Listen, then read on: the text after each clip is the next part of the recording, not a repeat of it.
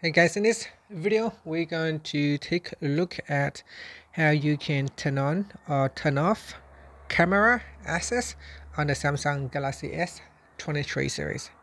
First tap on the home button at the bottom to go back to the home screen. Then swipe down at the top to open up quick settings. Now in here, tap on the settings icon.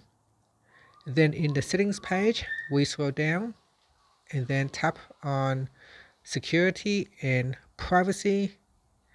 Next, scroll down and then tap on privacy.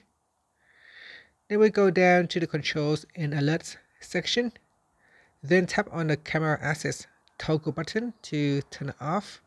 Now when you are switching it off, it said that all apps will be blocked from using the camera. Apps will still work, but they will only be able to access an empty black screen and that's it. Tap on the turn off button. Then finally you can tap on the home button to go back to the home screen.